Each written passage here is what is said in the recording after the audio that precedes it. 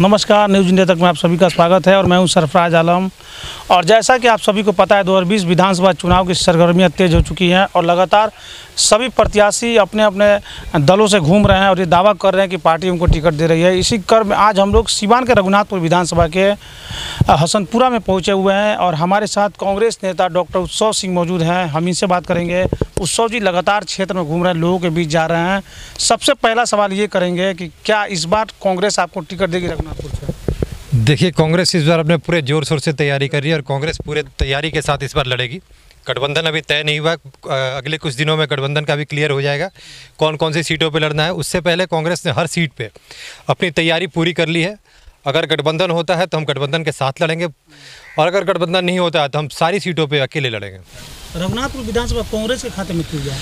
देखिए रघुनाथपुर शुरू से ही कांग्रेस का गढ़ रहा है। रघुनाथपुर क्षेत्र रघुनाथपुर से नहीं जाना जाता। रघुनाथपुर जाना जाता है मौलाना मजरुल के नाम से। मौलाना मजरुल बिहार कांग्रेस के संस्थापक अध्यक्ष थे। राजेंद्र प्रसाद की धरती है ये मौलाना मजरुल की धरती है।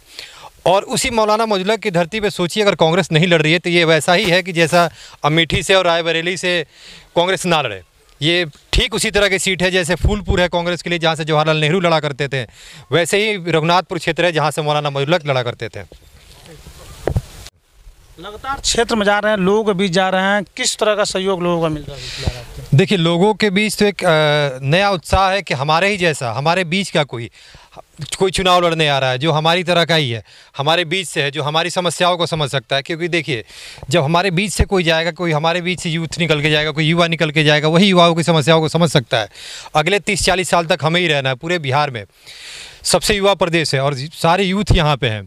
और उनके लिए चुनाव बहुत निर्णायक चुनाव होने जा रहा है क्योंकि अगले तीस चालीस साल का निर्णायक चुनाव यह है कि अगर अब इसी चुनाव से पे सब कुछ निर्भर है कि हम अगले तीस चालीस के लिए अपने आप को कैसे तैयार करते हैं। हमारी शिक्षण संस्थाएँ कैसी होंगी हम किस तरह का बिज़नेस करेंगे हम अ, हमारे लिए टेक्निकल एजुकेशन कैसे मिलेगा स्वास्थ्य की सुविधाएँ हमारी कैसी होंगी ये सब कुछ इसी चुनाव पर निर्भर है। कुछ लोगों का ये भी कहना है कि सीवान को आप सही तरीके से अभी नहीं जानते हैं शुरू से दिल्ली रहे हैं ऐसे में आप कैसे समझ पाएँगे क्षेत्र को? देखिए, लगातार से अभी ये तो हमारे यहाँ की एक नई मानसिकता चली है कि अगर आप कमाने बाहर जाते हैं तो आपको बाहरी कह दिया, कर, बोल दिया जाएगा कि ये बाहर कमाने गया और अगर आपके यहाँ शिक्षण संस्थाएँ नहीं है, जिस ज़माने में मैं 2001 में यहाँ से गया था स्कूलिंग के लिए, उस ज़माने में यहाँ एलेवेंथ ट्वेल्थ का कोई एफिलेटेड स्कूल नहीं था। तो आप बच्चा, आप बताइए, आपका कोई भाई बाहर पढ़ने जाता है, कोई आपका भाई कमाने जाता है तो आप उसे प्रवासी कह देंगे। वो क्या करे? वो यहीं रहे, वो पढ़ाई नहीं करे। आपके यहाँ शिक्षण संस्थाओं का ये हाल है कि तीन साल का जो नॉर्मल कोर्स होता है, उसे करने में आपको पाँच साल से आठ साल भी लग जाता है। ये तो ग्रेजुएशन का हाल है। एमए के लिए आपको सिवान में अगर मिल जाए तो मिल जाए, नहीं तो आपको बगल के स्टेट यूपी में जाना पड़ेगा। आपको गोरखपुर और बनारस से पहले आपको कोई एमए करने के लिए ठिकाना नहीं मिलेगा। पीएचडी के लिए आप तो ये इलाहाबाद जाइए या फिर दिल्ली जाइए। तो अब देखिए, आपके यहाँ तो खुद कुछ सुविधा नहीं है। आज तक हमारे नेताओं ने कुछ ऐसा किया नहीं कि हम यहीं रह के पढ़ाई कर लें और यहीं रह के नौकरी कर लें। और जब हम पढ़ के यहाँ पे आते हैं और अपनी शिक्षा से, क्योंकि हम जब पढ़ने जाते हैं तो बहुत सारी चीज़ों को सीखते हैं। आप भी कहीं बाहर जाएँगे तो आप वहाँ से की चीज़ें सीखेंगे, वहाँ से लेके यहाँ पर आएँगे।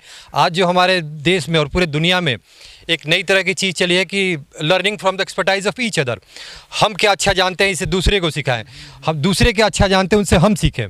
तभी हम अपने आप को आगे बढ़ा सकते हैं, अपने प्रदेश को आगे बढ़ा सकते हैं और अपने देश को आगे बढ़ा सकते हैं।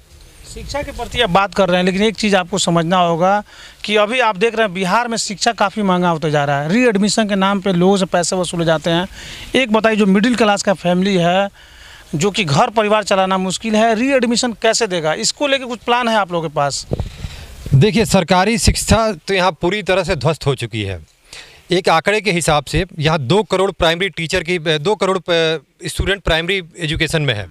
और सबसे वर्स्ट, सबसे बुरा हालात में बिहार में स्टूडेंट टीचर रेशियो है। देश में और दुनिया में सबसे कम यहीं पे टीचर हैं पर स्टूडेंट पे। तो हमारे सबसे जो हमारी बुनियादी चीज़ है शिक्षा, जो प्राइमरी एजुकेशन है तो सबसे पहला ज़ोर सरकार का प्राइमरी एजुकेशन पे होना चाहिए। और उसके साथ ही उन्हें कुछ ना कुछ स्कूलिंग स्कूल के दौरान ही उन्हें कुछ टेक्निकल एजुकेशन का कुछ ट्रेनिंग देनी चाहिए, जिससे जाके उनके उन्हें एक अच्छी नौकरी मिल सके। जब तक कोई अच्छी नौकरी नहीं होगी, तब तक कोई अच्छी तरह से कोई, कुछ अच्छा पैसा कमा के घर पे नहीं ला पाएगा। और जब तक उसके पास अच्छा पैसा नहीं होगा, तब तक ना तो स्वास्थ्य की सुविधाओं को अच्छी अच्छी तरह से पा सकता है। और ना किसी और सुविधाओं को पा सकता। है एक चीज़ देखा जाता है कि जो प्राइमरी स्कूल में लड़के पढ़ते हैं सरकारी स्कूल में और प्राइवेट स्कूल में भी पढ़ते हैं लेकिन सरकारी स्कूल के जो शिक्षक हैं उनको जो पैसा मिलता है मतलब लगभग दस गुना ज़्यादा मिलता है प्राइवेट स्कूल के टीचर से। बावजूद इसके उस तरह की शिक्षा नहीं दे पाते हैं। ऐसा क्या कारण है कि इस पर भी आप लोग ध्यान नहीं देते देखिए सरकार पिछले पंद्रह सालों में तो सरकार ने ये कर दिया है कि बंधुआ मजदूरी के टाइप से इन्होंने शिक्षा मित्र का जब से शुरू किया रेगुलराइजेशन जब तक नहीं होगा टीचिंग पोस्ट का। तब तक कुछ नहीं होगा। नई पोस्टें निकालनी पड़ेंगी। लगातार आप देख रहे हैं, नौकरियों में कटौती होती जा रही है।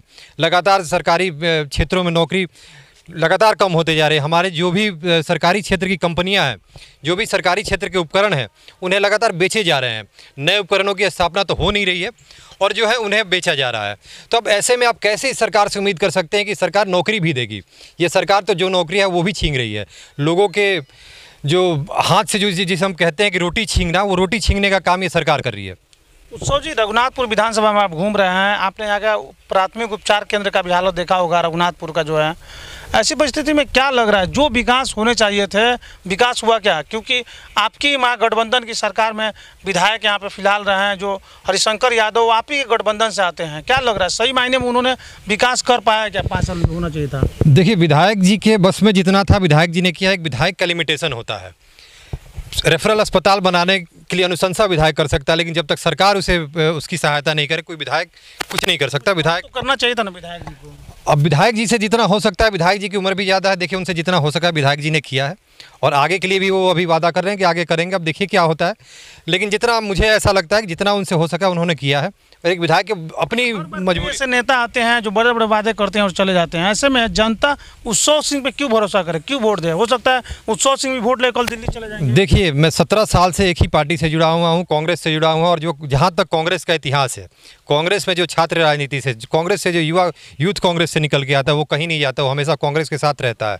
कांग्रेस कोई ऐसी पार्टी नहीं है कि जहाँ आप कुछ दिनों के लिए आए और आप आके यहाँ पे यहाँ आप पिकनिक बनाया और चले गए। सवाल ये कि यहाँ की जनता आपको वोट क्यों दे? कहीं जीतने के बाद आप फिर से दिल्ली सेट हो गए तो आपको दिल्ली ढूँढने नहीं जाएगी यहाँ की जनता? देखिए ऐसा कोई वो नहीं है कि मैंने आपके आप ही के चैनल पे मैंने पहले भी कहा था कि मेरा खुद का अपना यहाँ पे प्लानिंग और ऑलमोस्ट वो फाइनलाइज हो चुका है।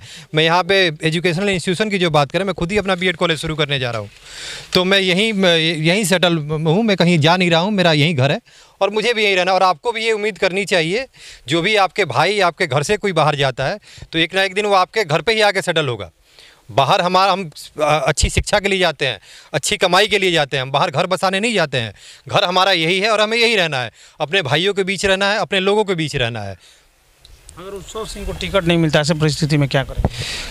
देखिए मैंने अभी थोड़ी देर पहले ही आपसे कहा कि मैं कांग्रेस का सिपाही हूँ और कांग्रेस के साथ हमेशा खड़ा रहूँगा। महागठबंधन में अगर हम रहेंगे तो महागठबंधन के साथ मजबूती के साथ खड़ा रहेंगे। और, देखिए, कांग्रेस यहाँ घूम रही है तो कांग्रेस इस बार ऐसा नहीं होगा कि लगेगा कि सिर्फ़ आरजेडी चुनाव लड़ रही है।